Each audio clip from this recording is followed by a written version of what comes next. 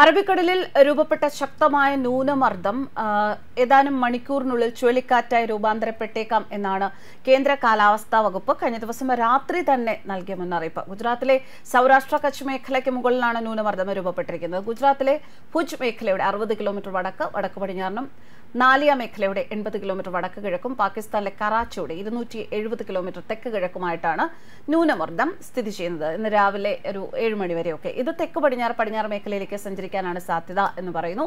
കച്ച് സൗരാഷ്ട്ര പാകിസ്ഥാൻ തീരങ്ങൾ എന്നിവിടങ്ങളിലേക്ക് ചുഴലിക്കാറ്റായി മാറി വീശിയടിച്ചേക്കാം. രാത്രിയോ വെള്ളിയാഴ്ച രാവിലെയോ ചുഴലിക്കാറ്റായി മാറിയേക്കാം എന്നായിരുന്നു സൂചന. ഗുജറാത്തിൽ ഇതിനകം കനത്ത മഴയും വെള്ളപ്പൊക്കവുമാണ് പതിനേഴായിരത്തി എണ്ണൂറ് പേരെ മാറ്റി പാർപ്പിച്ചിട്ടുണ്ട്. കഴിഞ്ഞ ദിവസങ്ങളിൽ മഴക്കെടുതിൽ ഇരുപത്തിയെട്ട് മരണങ്ങളാണ് ഗുജറാത്തിൽ ഉണ്ടായത് ഈ ന്യൂനമർദ്ദം ചുഴലിക്കാറ്റായി മാറുകയാണെങ്കിൽ പാകിസ്ഥാൻ നിർദ്ദേശിച്ച അസ്ന എന്ന പേരിലാണ് അറിയപ്പെടുക.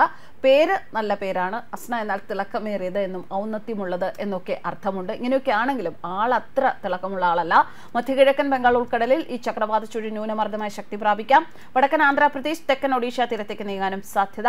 വടക്കൻ കേരളത്തിലാണ് അതുകൊണ്ട് തന്നെ കൂടുതൽ മഴയ്ക്ക് സാധ്യത പ്രവചിക്കുന്നത്. ആയിരത്തി തൊള്ളായിരത്തി അറുപത്തിനാലിന് ശേഷം അറബിക്കടലിൽ ഉണ്ടാകുന്ന രണ്ടാമത്തെ ചുഴലിക്കാറ്റായിരിക്കും ഇത്.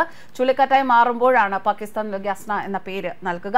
മൺസൂൺ കാലത്ത് അറബിക്കടലിൽ ചുഴലിക്കാറ്റുകൾ അസാധാരണമാണ്. മൺസൂൺ ഡിപ്രഷനുകൾ പടിഞ്ഞാറോട്ട് നീങ്ങുമ്പോൾ തെക്കോട്ട് ചെരിഞ്ഞു കിടക്കുന്നതിനാലും തെക്ക് പടിഞ്ഞാറ് മൺസൂൺ കാറ്റിന്റെ ശക്തമായ തടസ്സവും കാരണം ജൂൺ സെപ്റ്റംബർ സീസണിൽ രൂപം കൊള്ളുന്ന ന്യൂനമർദ്ദങ്ങൾ പൊതുവെ ചുഴലിക്കാറ്റുകളായി മാറാറില്ല. തീവ്ര ന്യൂനമർദ്ദം പടിഞ്ഞാറ് തെക്ക് പടിഞ്ഞാറ് ദിശയിലേക്ക് നീങ്ങുകയും വടക്ക് കിഴക്കൻ അറബിക്കടലിലേക്കും കച്ചിനോടും അതിനോട് ചേർന്നുള്ള സൗരാഷ്ട്ര പാകിസ്ഥാൻ തീരങ്ങളിലേക്കും നീങ്ങാനും സാധ്യതയുണ്ട്.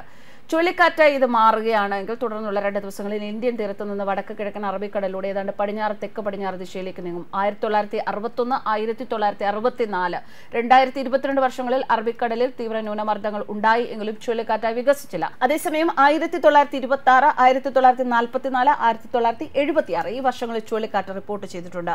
അറബിക്കടലിൽ ചുഴലിക്കാറ്റായി മാറുന്നത് ആയിരത്തി തൊള്ളായിരത്തി എഴുപത്തിയാറിൽ രേഖപ്പെടുത്തിയിട്ടുണ്ട്. അറബിക്കടലിൽ അസാധാരണമായ മൺസൂൺ ചക്രവാത രൂപീകരണം നടക്കുന്നതാണ് ഈ പ്രതിഭാസത്തിന് കാരണമായി വിദഗ്ധർ പറയുന്നത് ആയിരത്തി തൊള്ളായിരത്തി അറുപത്തിനാലിന് ശേഷം ആദ്യമായാണ് അറബിക്കടലിൽ ചുഴലിക്കാറ്റ് വരുന്നത്. അറബിക്കടലിൽ ഓഗസ്റ്റ് മാസത്തിൽ ഇത്തരം ചുഴലിക്കാറ്റുകൾ രൂപപ്പെടാറില്ല. ആയിരത്തി എണ്ണൂറ്റി തൊണ്ണൂറ്റൊന്നിനും രണ്ടായിരത്തി ഇരുപത്തി മൂന്നും വരെയുള്ള ആ ഒരു കാലഘട്ടം നോക്കുകയാണെങ്കിൽ വെറും നാല് ചുഴലിക്കാറ്റുകളാണ് ഓഗസ്റ്റ് മാസത്തിൽ അറബിക്കടലിൽ രൂപം കൊണ്ടിട്ടുള്ളത്. മൺസൂൺ സീസണിൽ ചുഴലിക്കാറ്റുകൾ നേരത്തെ പറഞ്ഞ പോലെ അപൂർവമാണ്. ജൂണിനും സെപ്റ്റംബറിനും ഇടയിലുള്ള മൺസൂൺ കാലയളവിൽ ന്യൂനമർദ്ദങ്ങൾ രൂപപ്പെട്ടാൽ ചുഴലിക്കാറ്റാകില്ല സൈക്ലോൺ മുന്നറിയിപ്പുകൾ കേന്ദ്ര കാലാവസ്ഥ ഏജൻസി നൽകുന്നുണ്ട്. എങ്കിലും കൂടുതൽ മുന്നറിയിപ്പുകൾ ഇനിയും ലഭ്യമാക്കേണ്ടതുണ്ട് എന്നാണ് കേരള സർക്കാർ പറയുന്നത്. ഇക്കാര്യത്തിൽ കേന്ദ്ര ഏജൻസിയുടെ സഹായം അഭ്യർത്ഥിച്ചിട്ടുണ്ട്. കാലാവസ്ഥാ വ്യതിയാന പഠനം സംസ്ഥാനത്തെ കാലാവസ്ഥാ വ്യതിയാന പഠനം കൂടുതൽ ശക്തിപ്പെടുത്തും എന്നാണ് സർക്കാർ അറിയിച്ചിരിക്കുന്നത്. കേന്ദ്ര സർക്കാർ ഏജൻസിയുടെ സഹായവും ഇക്കാര്യത്തിൽ തേടും. അതേസമയം കേരളത്തിൽ മഴ കഴിഞ്ഞ കുറച്ച് ദിവസങ്ങളെ അപേക്ഷിച്ച് ഇന്നത്തെ ദിവസം ശക്തമായിരിക്കുകയാണ്. മൂന്ന് ജില്ലകളിൽ ഓറഞ്ച് അലർട്ട് ഉണ്ട്. എട്ട് ജില്ലകളിൽ യെല്ലോ അലർട്ട് ഉണ്ട്. നാളെ നാല് ജില്ലകളിൽ ഓറഞ്ച് അലർട്ട് ഉണ്ട്. ഏഴ് ജില്ലകളിലാണ് യെല്ലോ അലർട്ട്. എന്തായാലും മഴ എങ്ങനെയാണ് ഈ ന്യൂനമർദ്ദം മാറി അസ്നയായി മാറുമോ എന്താണ് എന്നുള്ളത് അതിന്റെ വിശദ വിവരങ്ങൾ വരാനിരിക്കുന്നേ ഉള്ളൂ. കാറ്റ് പ്രതീക്ഷിക്കാം. കാറ്റ് ശക്തമായി വീശുകയാണെങ്കിൽ ചിലപ്പോൾ അപ്രതീക്ഷിതമായ പല പ്രശ്നങ്ങളും ഉണ്ടാകാം. അതുകൊണ്ട് തന്നെ ജാഗ്രത എല്ലാ അവസരങ്ങളിലും എല്ലാ സമയത്തും പാലിക്കേണ്ടത് വളരെ അത്യാവശ്യമാണ്. News desk കർമാനസ്.